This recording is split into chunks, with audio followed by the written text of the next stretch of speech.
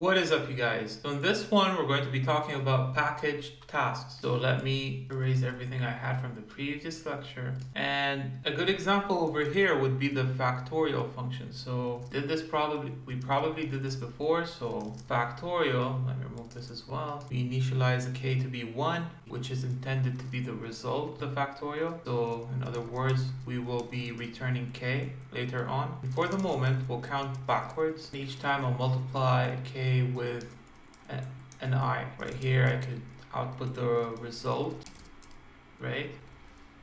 And over here we're going to use what this lecture is about, the package task and the following. We'll be explaining what those really mean. So really we've got this function that computes the factorial of a given integer n. Now in the main function what we did is that we created a package task. Here's the package task, which is in, inside the future library. So the package task is t along with the factorial function. So it's attached to the factorial function that we defined. So t is a task being packaged up to a package.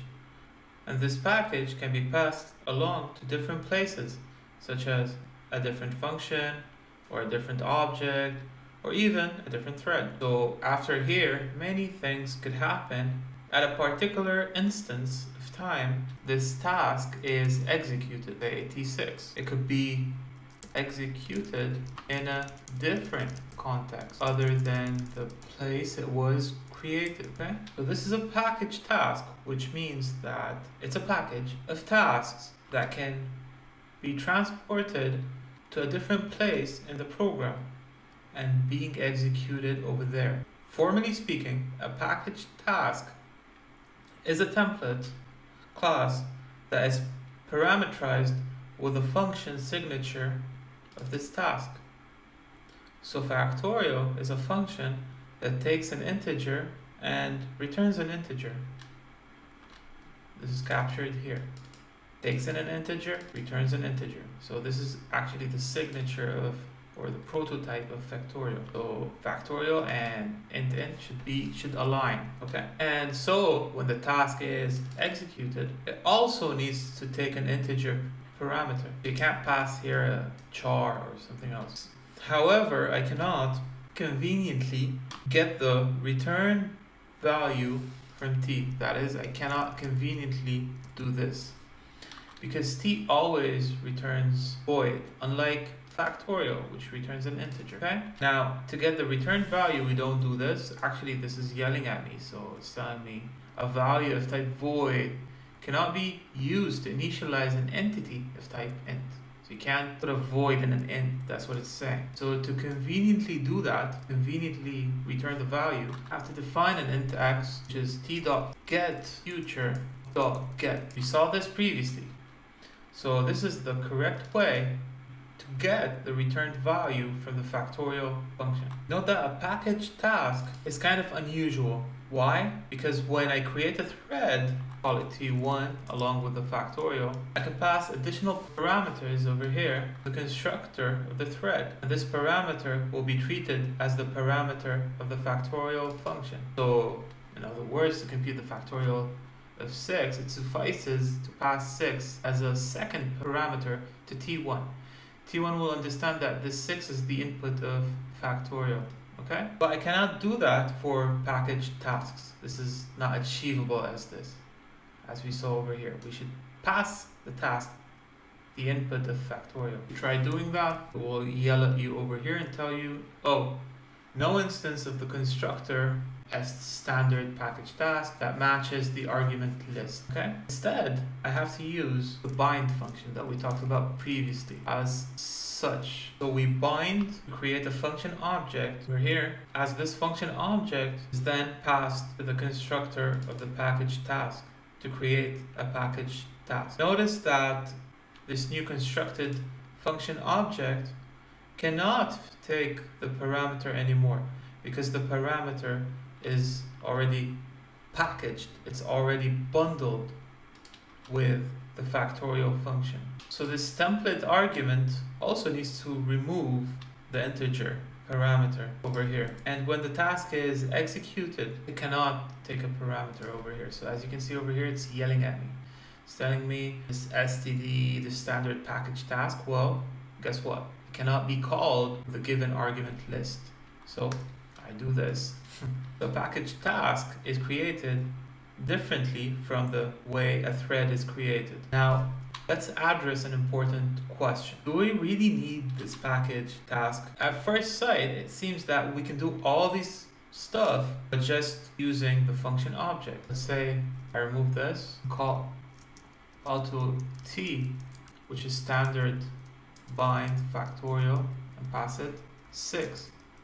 So now t is just a function object, and later point, or even maybe in a different thread or a different object, different function, I don't know, I can invoke t. So it seems like, you know, this function object can serve our purpose well. We don't need a package task, right? The main advantage of a package task that it can link a callable object to a future. That is very important in a concurrent programming environment. So let's say we have another scenario where I've got a double-ended queue as such. Also, I don't have a queue here. Let me include. Include queue as standard queue. Uh, pass it the package task with an int as such and the task queue such. All right. So here we have a task queue, which is a deque of package tasks. And in the main function, I don't want to execute the task t in the same function, which is really unhelpful. Instead of that, after creating the task T, I'll push it into the task queue, hoping that someone will pop off the task and execute it in an appropriate time. And this someone would be another thread. Let's say T1, this thread 1 will create a package task as such T. And T is standard move task queue dot front and then T execute. Main thread I'll create thread 1. So you know what? Let me call this thread 1 and over here I'll just call this thread T1. Okay? And then as we did in the first lecture of this series, we will join this thread. So now the main thread will create a task and push it into task queue. And then thread 1 will pop off the task from the task queue and execute it. So that the factorial function generates a return value. So when the task is executed, it generates a return value. Now, the question here is how do I get the return value? Especially if I want to return that value from this function, thread 1 to the main thread. Pretty simple. We can use task t to create a future as such as t.getFuture. Later on, when I need the return value, I can return, I can call the future.get as such. Now, is there any problem with this code? Now, is there anything problematic over here? Task queue is shared between thread 1 and the main thread, which means that we have a data race. The way to solve this is by using a mutex. So mutex queue. And mm-hmm. before I access the task queue, I need to lock the mutex. So I'll copy paste all this inside the curly brackets as such. Finding the curly so we'll use curly brackets for that as such. Copy paste this inside. Call a lock guard, okay? the mutex lock new, the locker. Same thing here. Before pushing back on off the queue, need a lock guard, type mutex, locker, mu, right? Here typically I also need to pop off the task, right? After it's used. So pop to the front. Notice that the front function and the pop function needs to be combined with the same locker, otherwise the code is not thread safe, as we've discussed in the previous lectures and in particular when we talked about the mutex. What do you think? There's still some problems. One is minor and the other is major. I'll start with the minor one. So the minor one is that T is no longer used in the main thread, so we can move it. Over here, we can move it task Q. And a problematic thing over here is that thread 1 might call the front function before the main thread calls the pushback function. This is a catastrophic thing. This is a disaster. Really, we need to make sure is that the front function is called after the pushback function. To accomplish this, we need a condition variable. Remember, we talked about this in previous lecture. Call it cond. And before calling the run function, we'll call cond wait, pass it the locker and a predicate. This predicate verifies that the task queue is not empty. So how do we do that? Remember, return not task underscore queue empty, right? And as we said previously, it's yelling at me over here, and we talked about this previously. With condition variables, you can no longer use lock guards. We have to use a unique lock, right? There you go. Right over here, we also need a cond notify, notify one, right? What do you think right now? Is it thread safe? Well, looks good to me. Let's make this function using the clang and then run. There you go, thread safe. No deadlocks, no data race conditions, nada. Okay?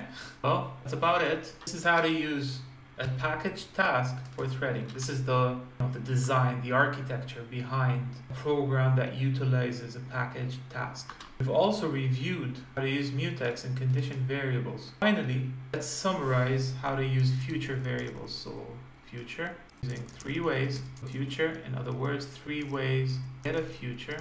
First way is using a promise get future, right? Second way is in the package task get future. And last but not least, in the async that returns a future.